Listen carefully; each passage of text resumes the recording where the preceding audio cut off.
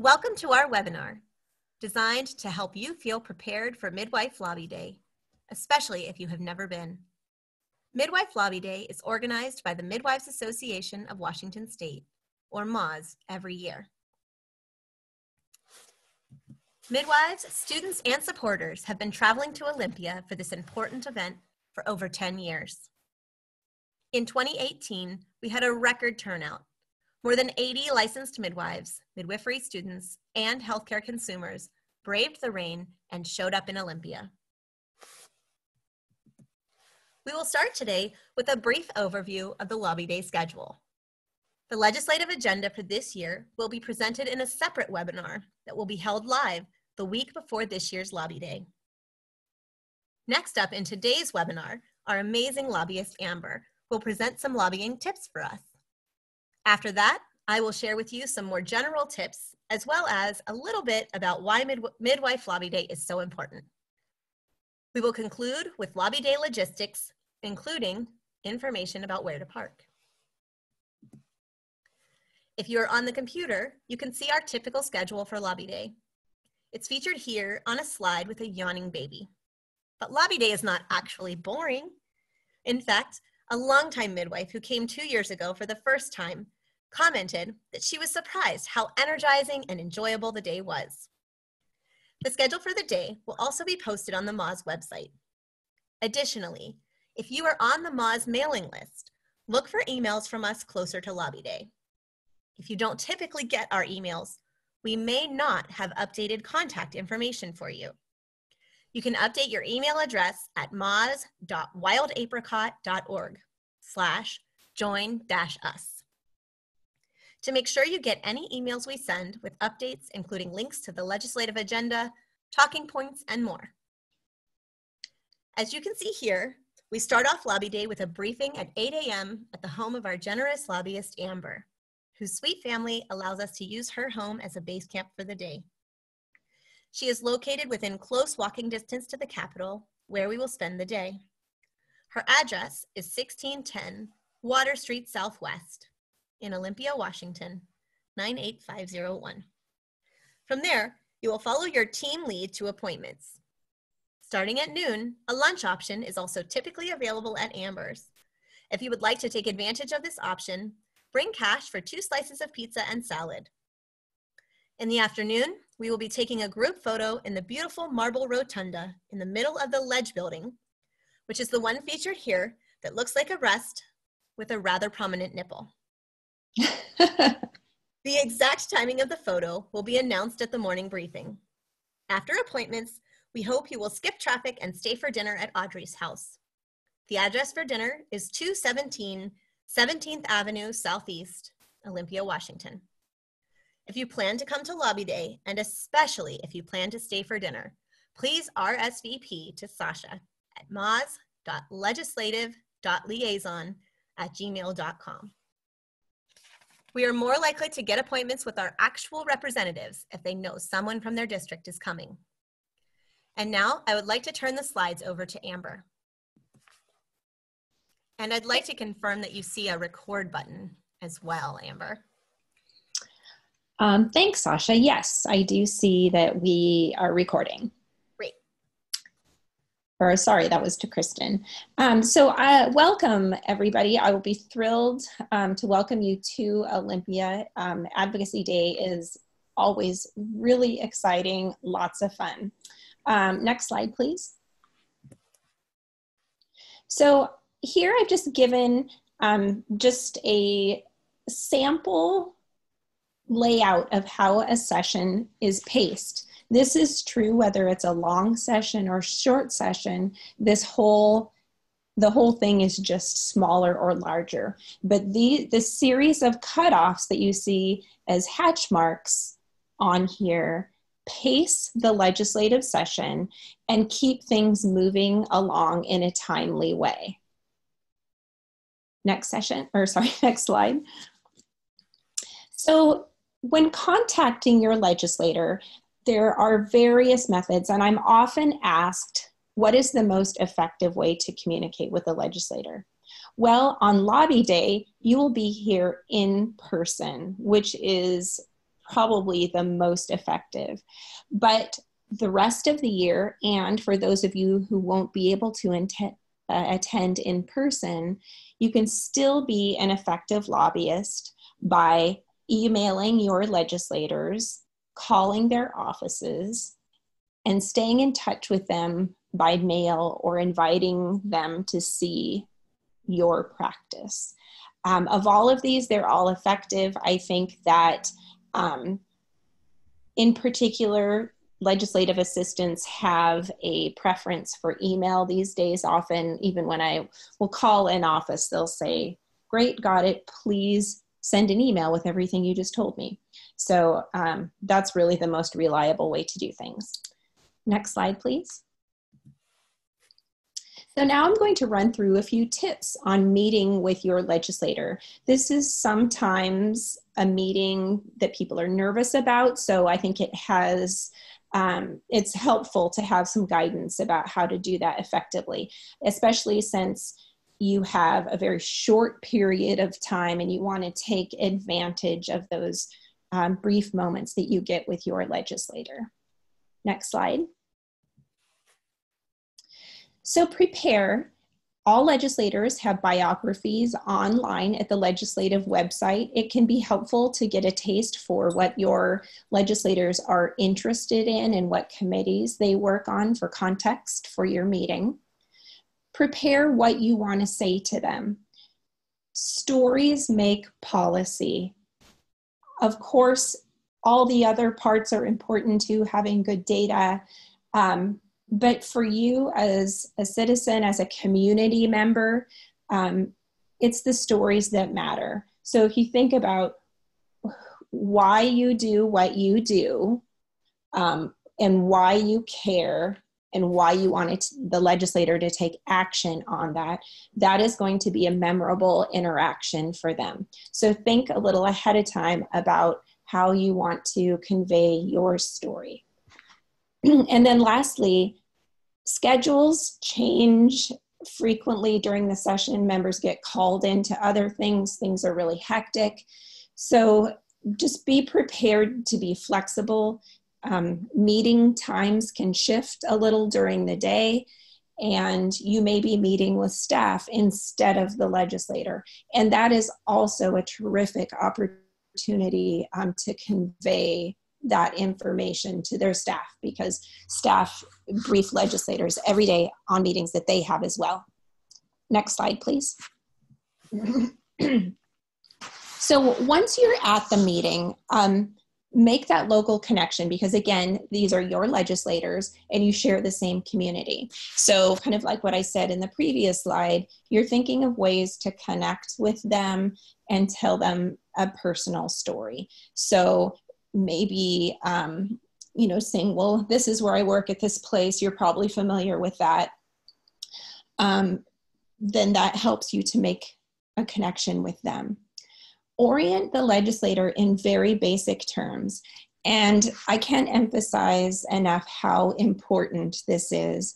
You are an expert in what you are talking about, as is all of the meetings that a legislator has during that day. So if you can imagine an afternoon, a full afternoon for them where they are having 10 to 15 excuse me 10 to 15 minute appointments from everyone talking about shoreline management to um, energy policy to midwifery there's just going to be a, a lot of what they of what they're going to hear and hard to um, to orient themselves at each meeting.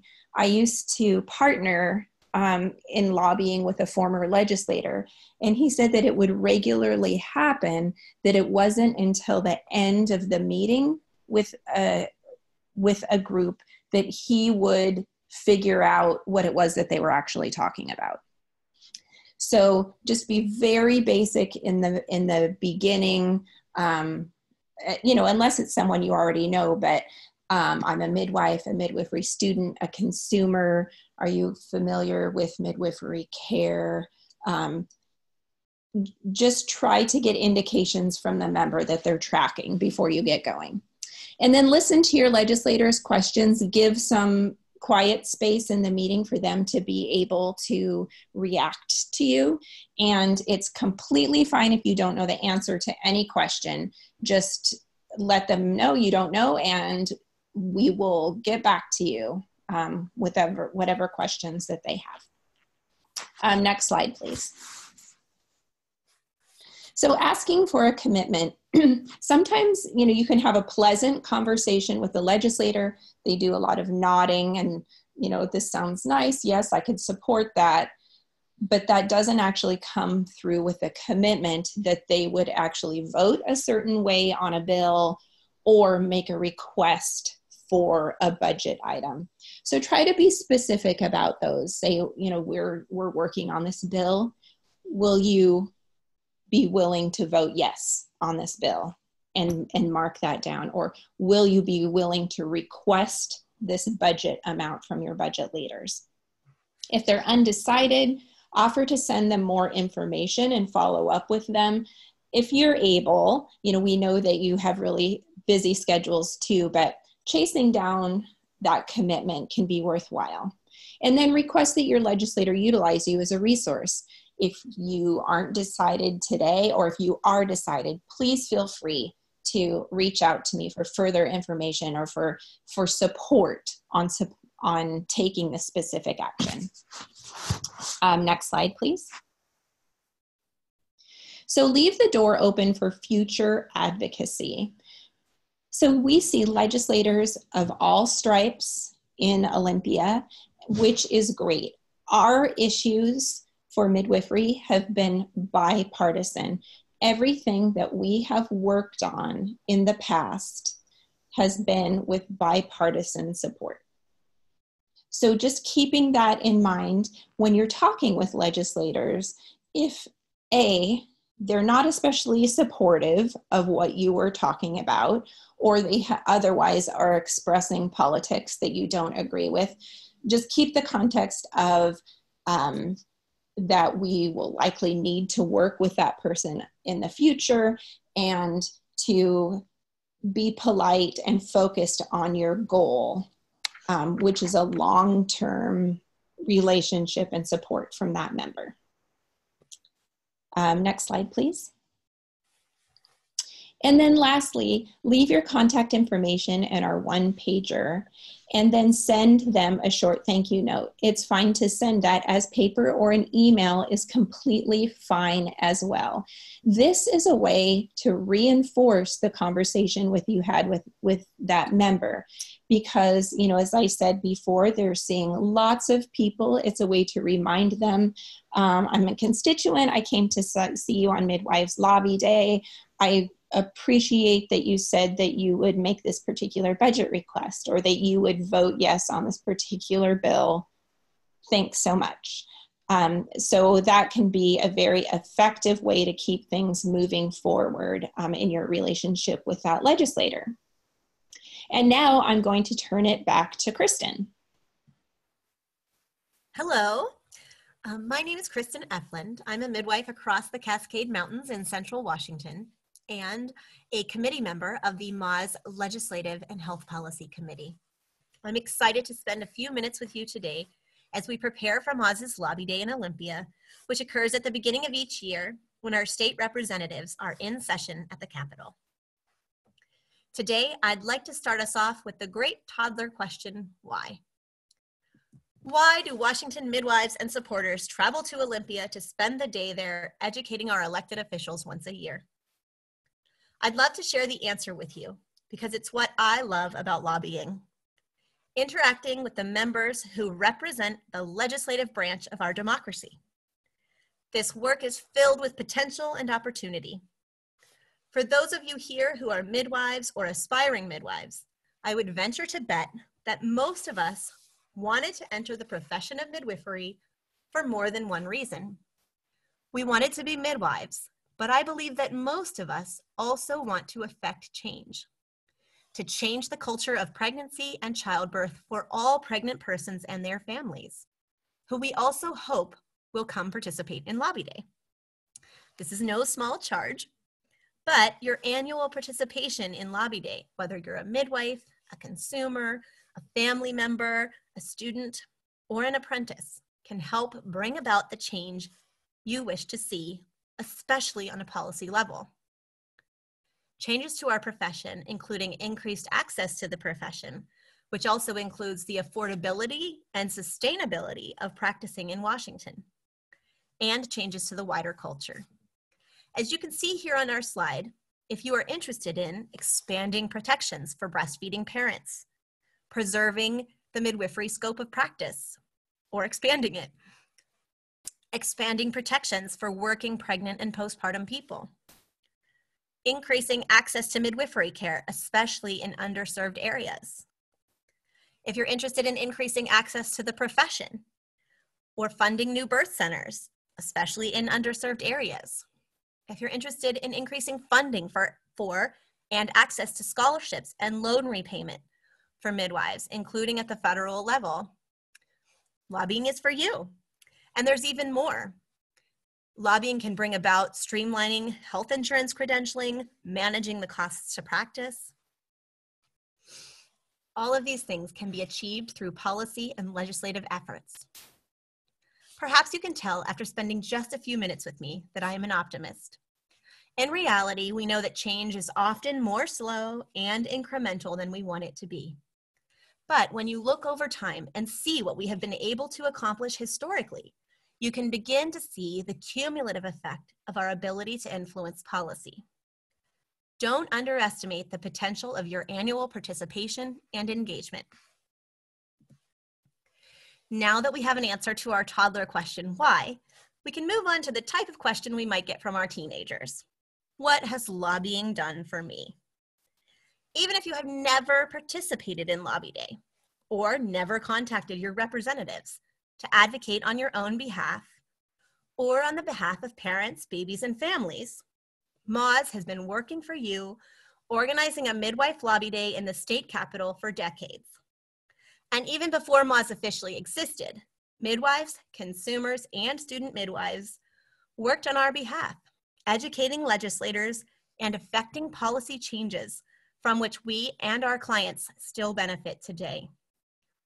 Much of what you think about as the defining characteristics of practicing licensed midwifery in Washington were won through advocacy. As you can see here on our slide, and as you may know, in Washington, most private insurance companies must offer in-network licensed midwives. Licensed midwives can accept Medicaid here. CPMs have a clear path to licensure. Our licensing fees are significantly reduced as a result of lobbying. Breastfeeding protections were added to law, partly because of our advocacy. JUA liability coverage, also called malpractice insurance, won through policy and legislative efforts. Paid family medical leave, the most liberal in the country.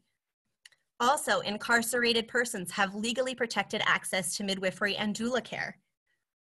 Anti-shackling protections were won for incarcerated persons in labor through Midwife Lobby Day in part access to HEALWA and recent evidence through the University of Washington system, library system. Also, LMs are eligible for state-funded scholarship and loan repayment. This is the only place, I believe, in the country. Nurses, registered nurses, are allowed and enabled to work for licensed midwife without risking their license. And Medicaid payments um, for home and birth center birth are no longer just for prenatal care and postpartum care, as was true in the 80s. So all of this, we have lobbying um, and legislative and health policy efforts to thank. The work accomplished by those who, has, who have gone before us has been awesome, but there is more to be done. In fact, there is much more potential for us to actualize. To reach this potential, we need your participation and that of our colleagues. We hope that more of us can make it to Olympia in person each year. And for those who can't make it, we hope you will contact your representatives on your own time. This slide lists some of the examples of the potential influence we could have. As you can see here on this slide, we could ask for funding for new birth centers. We could work to improve reimbursement for high quality care. We could try to expand options for VBAC or vaginal birth after cesarean.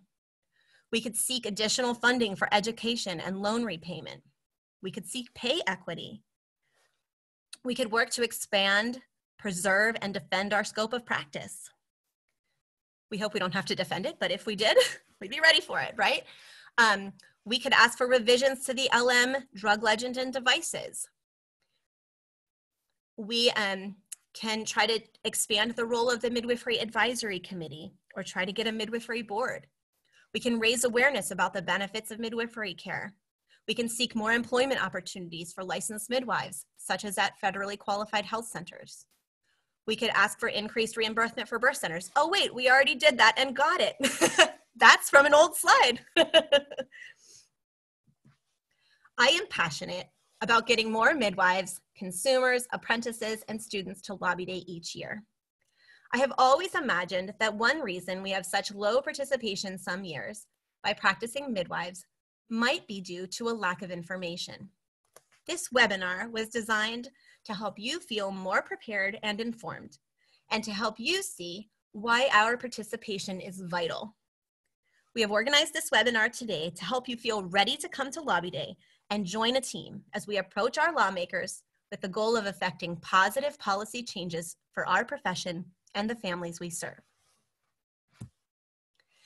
It is important to realize that it is more enjoyable for your legislators to meet with you and get to know you, their constituents, the people whom they came to Olympia to represent and serve, than to always meet with professional lobbyists, whom they see every day and whom they know are hired to represent various interests.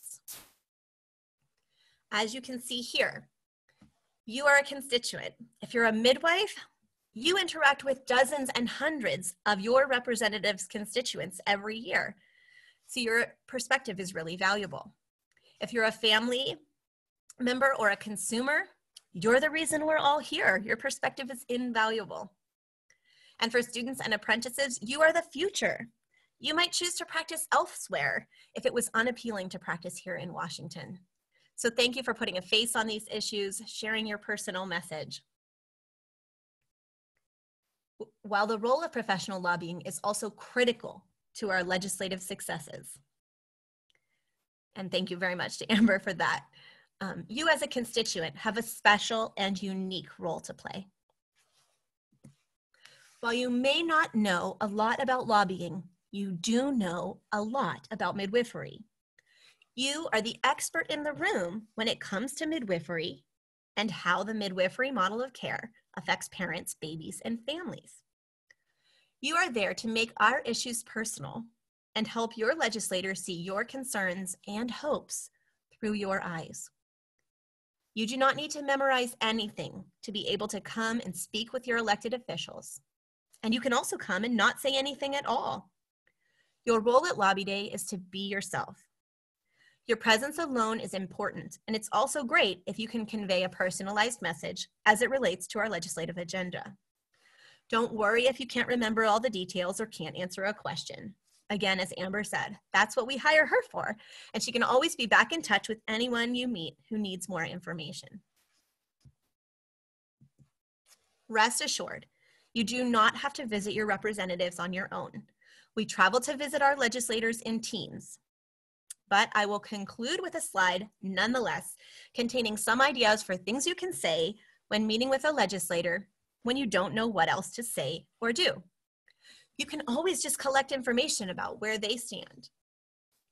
You can say, if someone says something that is hard to hear, I can really understand why you would have that impression. That's a very midwife thing to say, and a good one when you're riled up.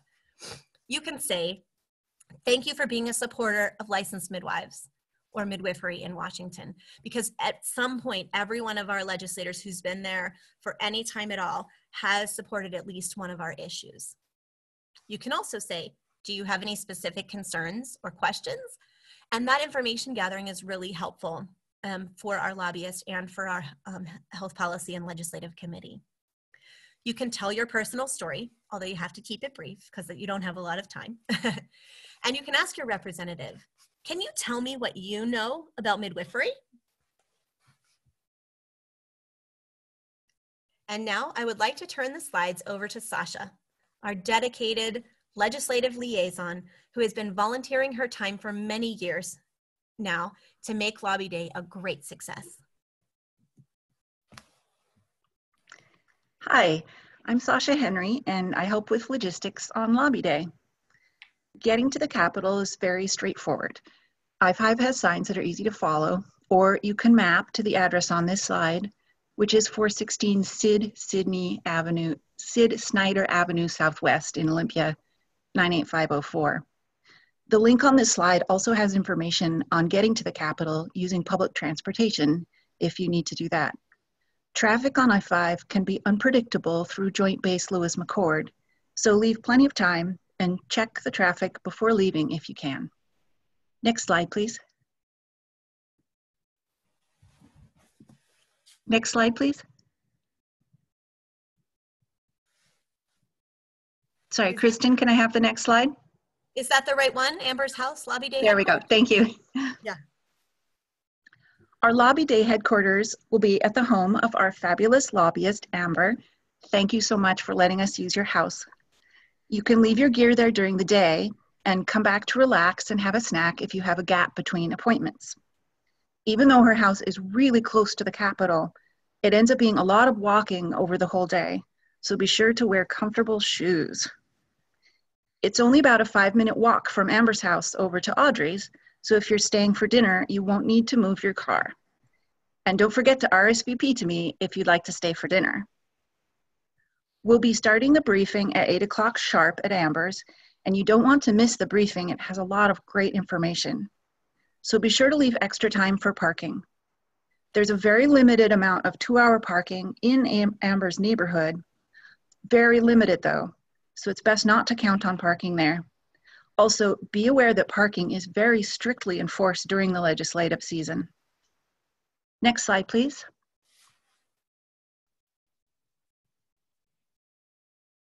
Campus visitor parking is a good option and often has spots early in the morning. The north and south diagonals and visitor information lots are very close to Amber's house, definitely within walking distance, but they do fill up quickly. The GA building lot and natural resources lots are the next closest, also walkable. There are other lots that are farther away, and if you park there, you can take the free Dash shuttle, which I'll talk more about later. You can check out the link on this slide for a map showing these farther away lots and more information about them. All the campus lots are $2 an hour from 8 in the morning to 5 in the evening, and they take credit and debit cards as well as cash. Next slide, please. Most of the street parking in downtown Olympia is metered. The meters are color coded to show how much they cost and how long you can park. If possible, you want a gray meter. That will allow you to park for up to nine hours and it's only 50 cents an hour.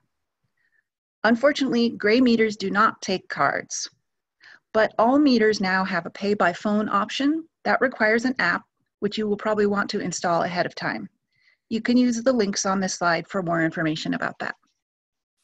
Next slide, please. Oh, I'm sorry, previous slide.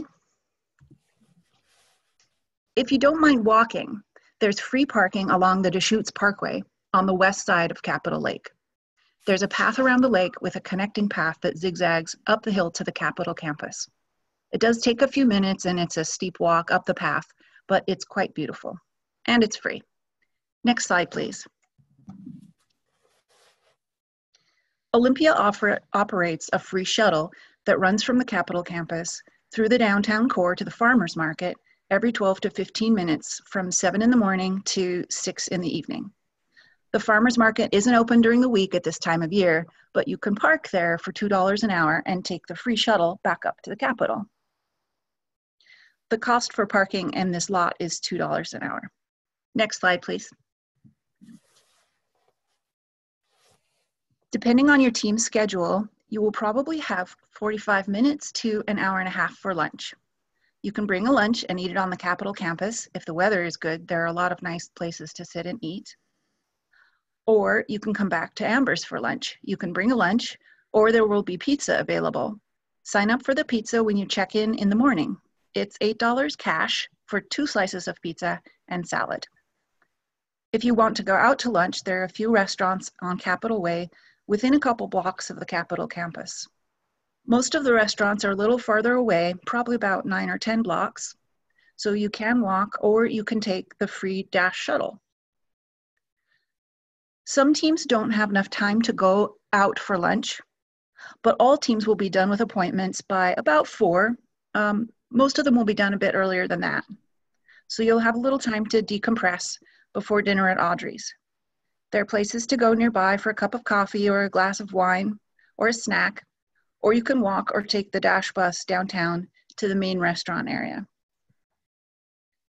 If you have kids, the public library is about six blocks away from Lobby Day headquarters and is open from 11 to 7. We also have a very good children's museum. You'd probably need to drive to that. You could walk it to it, but it'd be quite a long walk. They're open 10 till 5. The nearest public park with play equipment is about 12 blocks, but it is quite close to the free Dash shuttle line. If you have any additional questions about logistics, feel free to email me at maws.legislative.liaison at gmail.com. I live in Olympia, and I'm happy to answer any of your questions about coming to the Capitol. And make sure to let me know you're coming so I can connect you with your legislator.